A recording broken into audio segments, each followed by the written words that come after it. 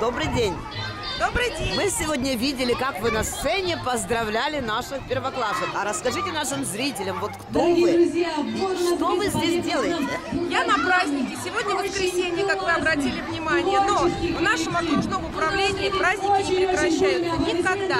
Поэтому я, как начальник управления Юго-Восточного округа Ольга Корчагина, присутствую здесь, в районе Рязанский, на этом прекрасном мероприятии. Заберем ребенка в школу.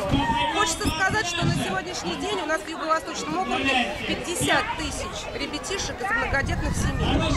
Многие из них, конечно, нуждаются в нашей помощи. И вот сегодня мы проводим это мероприятие.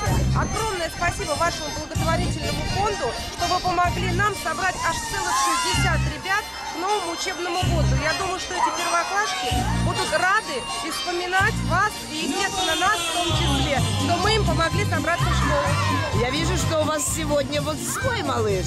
Свой малыш, к сожалению, в школу нам еще рано. Я тоже многодетная мама, и поэтому детей своих очень часто привожу на такие мероприятия, чтобы дети знали, что такое добро, что такое благотворительность. Надо в жизнь выпускать уже готовых ребят. Ну, я так считаю, как мама. Огромное спасибо. Меня больше всего радует, что они здесь знакомятся, они здесь находят новых друзей. Конечно. Это очень... Конечно. Спасибо. вам. Хорошего праздника. Ура!